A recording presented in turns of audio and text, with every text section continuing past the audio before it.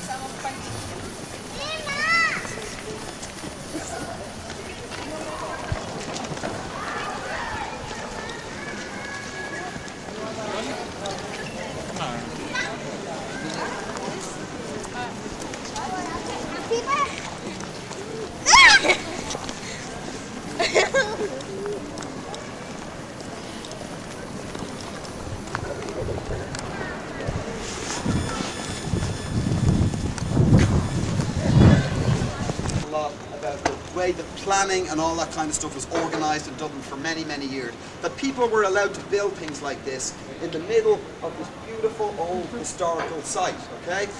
This should never ever be allowed. It's outrageous they were allowed to build this in this beautiful old place.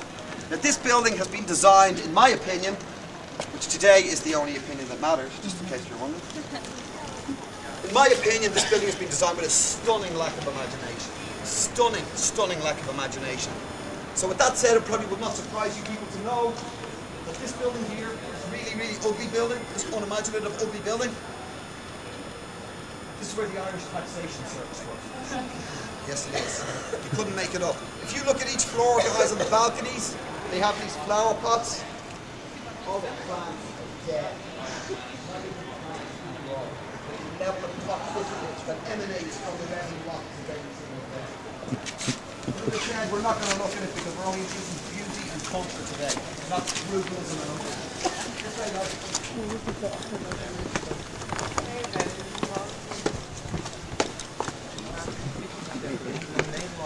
Nederland, dat net zoals Disneyland,